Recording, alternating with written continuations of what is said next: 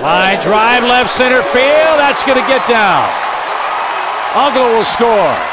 McCann will stop at third. Alex Gonzalez comes through with a big two out hit, and that cuts the lead in half.